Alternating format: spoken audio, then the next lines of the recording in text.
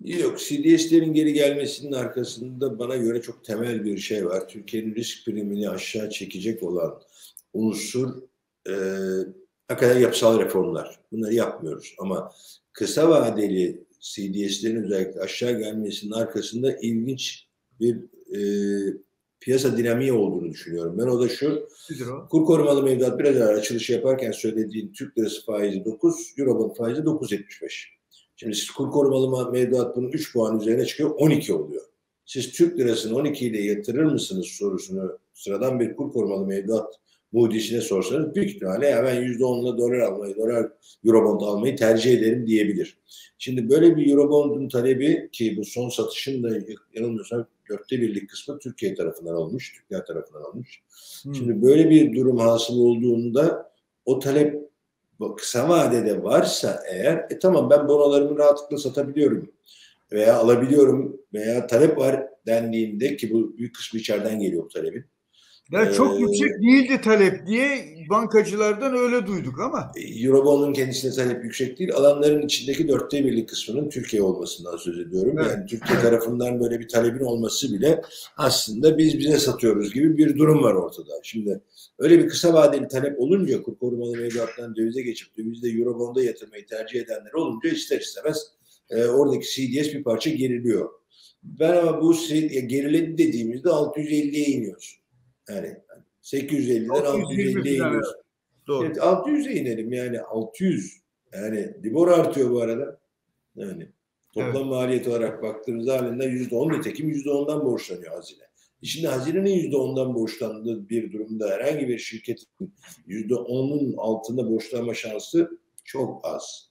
E, al, diyelim ki %10 dolar bazında bir faiz ödüyorsunuz bir tarafa o elde ettiğiniz finansmanla yüzde on dolar bazında getiri sağlayabilecek Türkiye'de kaç sektör vardır? Evet.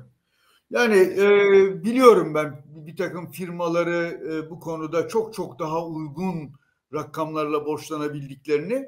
E, çünkü onlar hani yurt dışında belli garantileri olan, belli e, kendi parası kendi parasını kendisine ucuza veriyordur o. Yani o parası vardır. O parayı o teminat gösterip buraya veriyordur. E, yani işin e, hukuki riskini kendisi üstleniyordur. Para fonlamasında bir problem yoktur bankanın. Araya küçük bir spread koyarak kendisi kaça razı olduysa, kendi parasına kaç faiz vermeye razı olduysa o bir küçük bir spread fark geliyor. Onu verirsiniz yani sorun değil. Ama şurada şöyle bir anlaşma yapalım. Senin bu konuda genelde hep bir iki örnekten çıkarak bir genelleme yapma gibi bir e, günü kurtarıyoruz yaklaşımı var. Mesela bana çok uymayan bir yaklaşımdır o. Ben genel, o zaten genelin içinde istisnalar da hep var. Ama bir iki istisna geneli kapsıyor ve kurtarıyoruz günü. İşi yürütüyoruz noktası bana çok uymayan bir yaklaşım. Çünkü ben toplama baktığımda iş yapış biçimleri, mesela kapasite kullanımı oranları düşüyor. Arkasında A talep var, B yeni yatırım yapılması ile ilgili insanların endişeleri var. Yatırım yapılmıyor mu? Tabii ki yapılıyor. Üstüne üstlük şu anda hedefli krediyle birlikte birçok iş dünyasının e, katılımcısı diyeyim özellikle uzun vadeli TL ile bazı yatırımlar yapıyorlar ama bu rakamlar 1-2 milyon dolar. Bilemedin 3-5 milyon dolar. 3-5 milyon dolarlar şanslı. Yani karşılığı TL. O çok şanslı. Ee, ama bunlarla döner mi bu şey gemi? Ya da bu de, devran dönecek ya mi bunlarla? Zaten yani bu, bu kadar olduğu, küçük yatırımcılar ha. Hayır zaten küçük. sıkıntı olduğu belli de problem yani daha doğrusu tam e, kavrayamadığımız hikaye Tabii çeşitli yollar da var. Sadece bu yurt dışı borçlanma meselesi falan değil. Zaten net borç ödeyicisi durumundayız. Orada da bir evet. yok. Ama Türkiye'nin en iyi, orada bugün bunu dün ve bugün birkaç kişi söyledim. Türkiye'nin şu anda en iyi makro iktisadi göstergesi aslında toplam borçluluğu. Toplam borçluluk, bak toplam borçluluk derken kamu artı özel sektör borçluluğu gayri safi milli hasılanın altında. Tabii. Sadece kamu borcu Amerika'da yüzde yüz on beşlerdeydi en son bıraktığımda. Almanya'da yüzde yüz onlarda, işte İtalya yüzde yüz elli, Yunanistan'ı saymayalım, Japonya bile yüzde iki yüz sadece kamu borcu.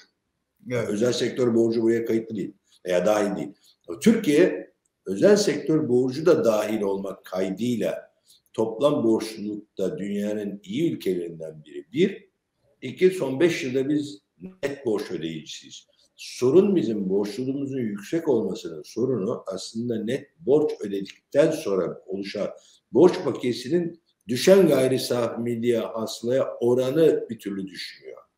İşte zaten sorun biraz evvel e, bu bahsettiğimiz fonlama, ucuz fonlama vesaire dediğinde bizim gayri safi milli hasılamız düşerken bazıları ucuza borçlanıyor dediğimde ben orada itiraz ediyorum. Çünkü buradaki itiraz bizim gayri safi milli hasılamızı büyütmemiz gerekiyor ki toplam borçluluğumuz gerçekten çok düşük hale gelsin. Sorun evet. bu büyümeyi sağlamakta. Bu Yok, büyümeyi genelde... sağlamak için de TL'yi 9'a indirdiğin zaman bu iş oluyor mu sorusunun yanıtı maalesef olmuyor.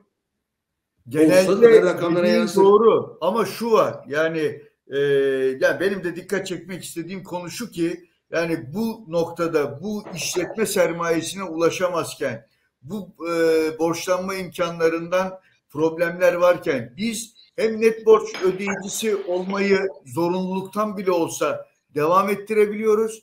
Hem de aynı zamanda yani hangi dinamikler varsa e, kayıt içi, kayıt dışı neyse hem de aynı zamanda bütün bu finansmana erişim problemlerine karşın yine de firmalar öyle bir çöküşe, bir hadi ben bundan dolayı üretimi kapattım noktasına filan gelmediler, gelmiyorlar da. Yani burada da bir şehir, sihir demeyeyim ama bir dayanıklılık işareti var herhalde diye düşünüyorum.